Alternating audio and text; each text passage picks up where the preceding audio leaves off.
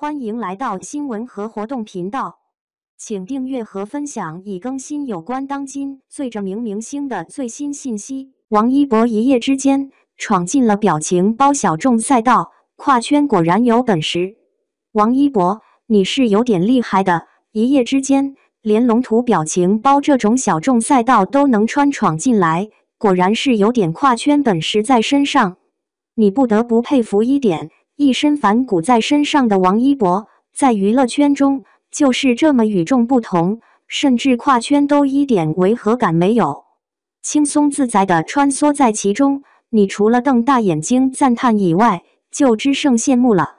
娱乐圈中在逃体育生，人家运动系天赋可不是浪的虚名，从小就混在街舞圈，跳舞那叫一个厉害，职业型选手。这是横跨娱乐圈跟体育圈，顺带着统领了一下时尚圈。想想谁不羡慕？这是占尽了天时地利人和的节奏，还能在影视圈中逐渐崭露头角，难怪无人可以与之匹敌。没想到的是，王一博的各种喜好，街舞、滑板、摩托等，都是那种小众并且不起眼的，反而被他带出圈。更是助燃了大家对他的偏爱，更是引来不少人对他的追捧。如今，王一博的粉圈更是一道亮丽风景。果然，粉随正主，主推一个剑走偏锋，独树一帜。一夜之间，感觉很多小众赛道都快被王一博承包了一样，连表情包这种领域都变成了他的天下。关键是还挺好用的。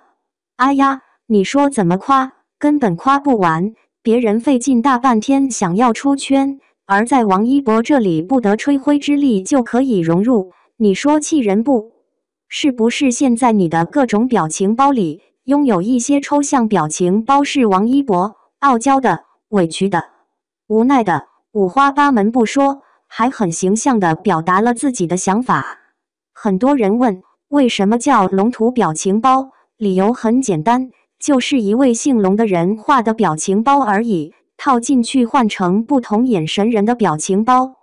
而王一博这个表情包的原图是什么吗？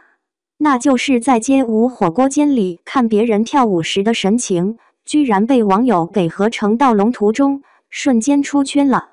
好了，在王一博身上拥有一些奇奇怪怪的梗出现，人家给代言的法国鳄鱼拍个踢腿广告而已。结果一个鳄鱼踢成功被大家玩坏了，各种 P 图层出不穷，特别是鲨鱼加成了爆款。王一博说想看自己酷一点，努力经营大半生，归来居然成了个笑话。你说这是怨得了谁？粉丝跟他一个调性，表面清冷，说着各过各的，可是实际上从未让他错失任何的热梗，甚至这种小众赛道。都能够给他塞进来，果然是叶批的正主，粉丝都是慕强的存在。王一博的与众不同是娱乐圈中的一道亮色，他的魅力就是忠于自我，喜欢的也是那种小众赛道的东西，再加上他的个性，你会入坑后直接躺平的。魏若来这个角色真的是王一博可爱一面的缩影，也是他内在活泼的一面。其实跟他形象反差感很强，也许就是这么反差的一面，才会让他脱颖而出，爆上加爆。小伙伴们有什么看法呢？